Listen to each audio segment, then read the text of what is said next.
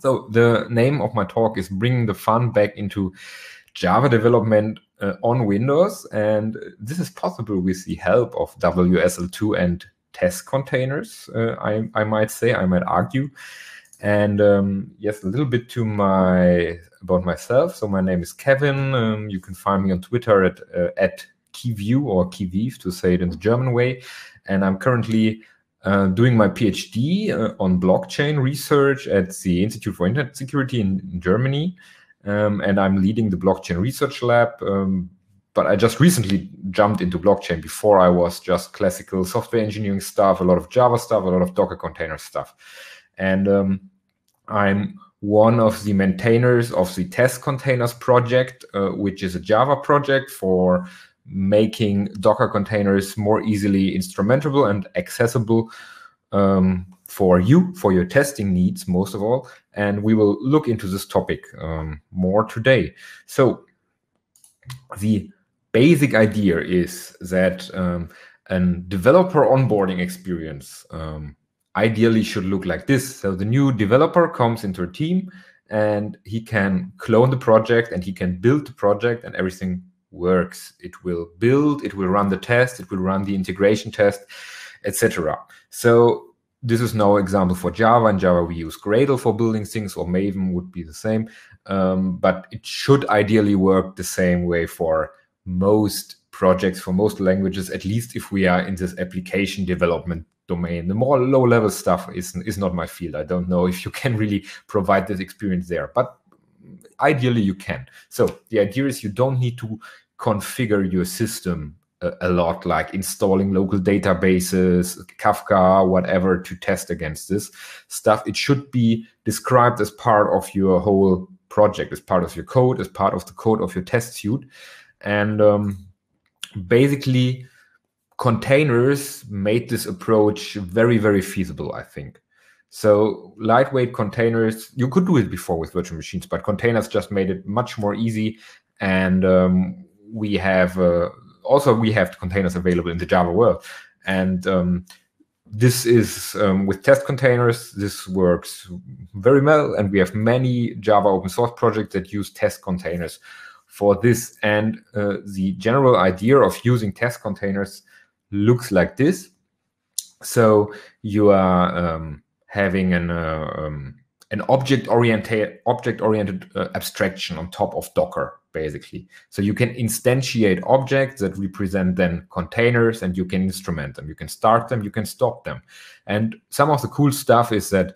Uh, if you start the containers, this will not just mean starting a container as you would uh, do it on the command line. It would also um, wait for the application inside the container to be ready. And test containers has different kind of features that will check for the readiness of an application inside. Like for example just checking can the tcp port uh, is the tcp port answering?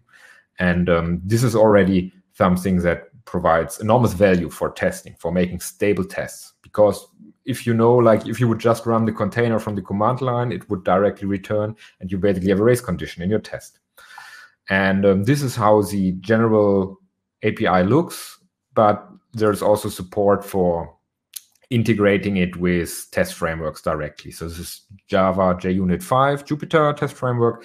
So there you just say, okay, my test needs this Docker container. You annotate it with the stuff, and then it gets automatically instrumented by the test containers extension for you. So so that so far is all just test container stuff. We will come to WSL in a bit. Um, a little bit about the project. So it was released 2015. Uh, we have three core maintainers that take care of me, take care of it. So Richard North was also the inventor. Uh, we have him here in the middle. Uh, on the left, we have Sergey, uh, and then me on the right. And this is the only time we three were uh, together at the same place uh, on in the world. It was last year at my wedding, and it's a 100% open source library, quite active, used by a lot of open source projects it is Java, first and foremost Java, and it is for Java projects, but we have forks, community forks in other languages that re-implement the concepts, basically. And um, yes, I will I will not dive too much into the feature set. So if you're interested in uh, test containers, just check it out. And there are other talks that um, highlight test containers in more detail. But basically there's also specialized support for containers that already uh, have it have the database inside special apis to make it more easily accessible to interact with the database or with something like kafka and so on or docker compose selenium browser testing cool stuff. Um, so the interesting thing also is that test containers from the very beginning try to be platform independent and work out of the box so the users don't have to configure test containers. Um, the idea is that test containers will check the environment for indicators that tell test containers what kind of Docker environment I'm in. So this means test containers will work from for Docker machine, for Docker, uh, if you set the Docker host, if you have the normal Docker installation on Linux, Docker for Mac works, and Docker for Windows works, at least since some versions. And Docker for Windows will work with named pipe support. So it works on all environments. But this hasn't been uh, this case since forever. So actually the order of how we supported platforms were kind of like this. We were first uh, working on Linux and macOS kind of at the same time. Linux was just uh, kind of automatically supported. And Docker for Mac, it was the use case like the uh, other core developers were using Docker for Mac. So therefore, Docker for Mac was supported. And then it was kind of a hard fight to get really good Docker for Windows support into um, test containers. So first we had Docker Toolbox, then later we had Docker for Windows, but it was only supported if you would expose the TCP uh, connection, which is of course insecure and not something nice, and also something the user has to do for beforehand, configuring the um, the uh, Docker for Windows installation. Then at one point we got npipe support, and then everything became better. Docker for Windows was better support. So I was, uh, or we were very interested then to see um, what will we have to do to get WSL support in there. Um, so this was the pull request. Uh, so once WSL2 was general availability, I directly tried it out and I checked, okay, will um, WSL2 work with test containers? And um, yeah, so this is the pull request to it, and let's let's check it together. And if we if you check at the files changed, that is the coolest part. Uh, it's just the README. So once WSL came, it was directly supported out of the box for us. And that was quite amazing for me. So we had Docker for Windows support. We didn't have real WSL support, but once WSL was released and Docker for Windows with WSL backend support was released, it worked out of the box with the full feature set. And this was a mind-blowing experience for me when I tried it out. So when I say everything worked 100%, I'm like, I'm basically honest, but a tiny thing I had to change. So I run our full test suite and everything was working. Just a couple of tests were failing and I didn't understand why. And the reason there was um, it was using very old Docker images. So I already had the idea that it had something to do with very old Docker images. What could it be? And then I found another issue and had to do that uh, this uh, kernel command line flag had to be set, vsyscalls this is something that is not really WSL2 related. It is more more Linux kernel related. So it can also happen on other Linux kernels. But yeah, that was it. That was it. That was it. And uh, if you compare this with um, so these are the instructions. If you are using WSL2 backend in Docker for Windows and you want to use test containers, these are the instructions you have to follow. So basically nothing. And if you have up-to-date images, then you have to do really nothing, not even this flag. And we can compare this with uh, WSL instructions, mm. which are a bit more involved.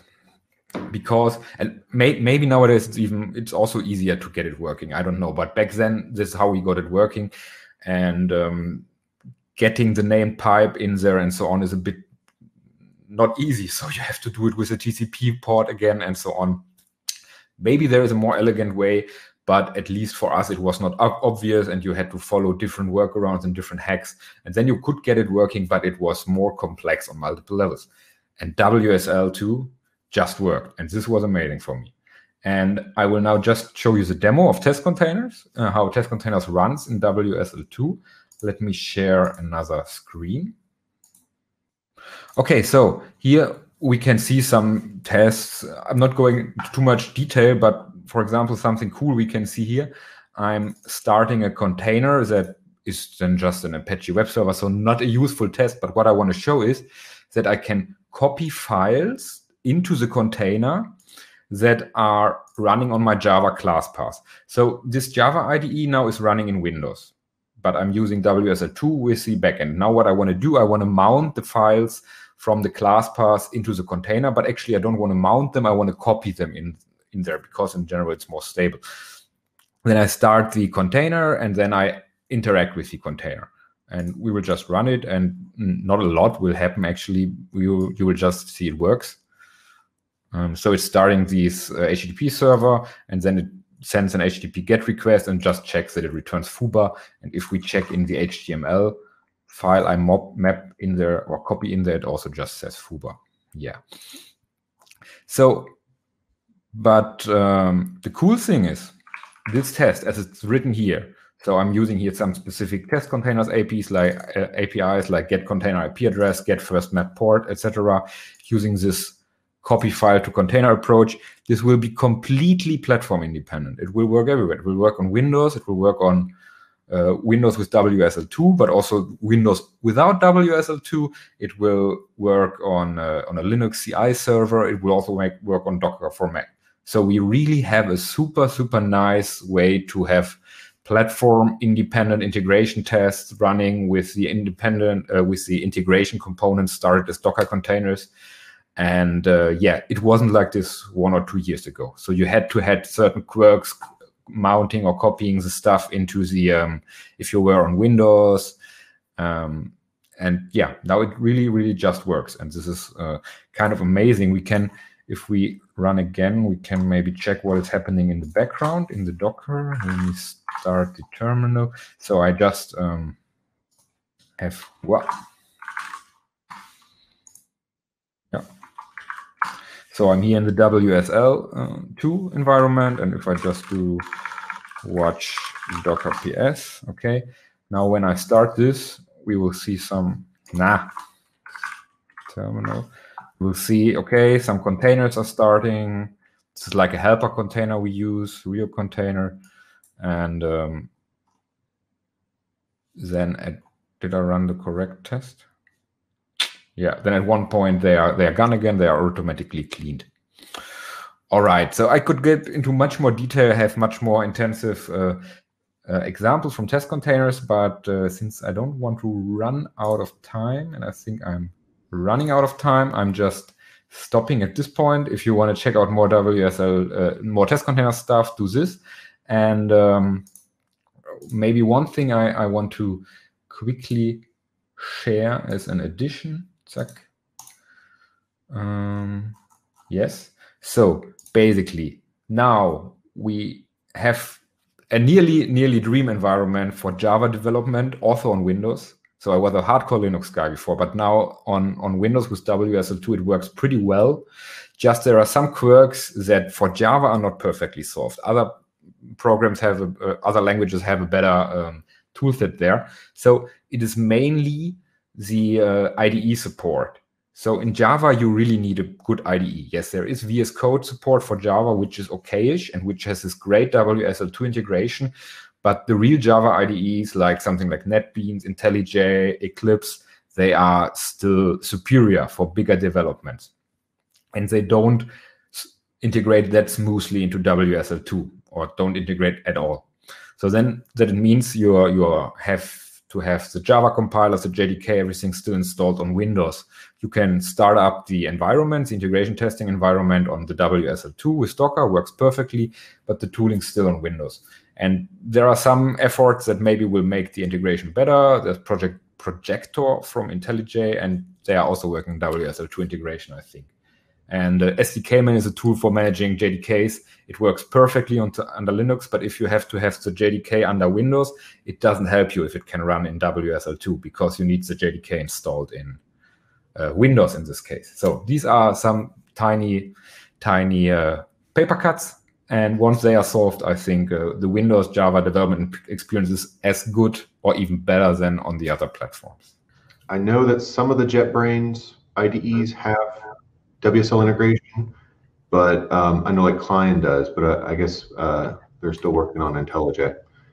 Yeah, probably CLion has, yes, CLion. Mm-hmm. And I know the PyCharm always was quite far always. They also had like really great Docker support where they would run the development environment in a Docker or the build in a Docker uh, image, but they never ported these features to some of the others like Go. The Go one was always looking for this and IntelliJ also missing it. Yeah. Okay.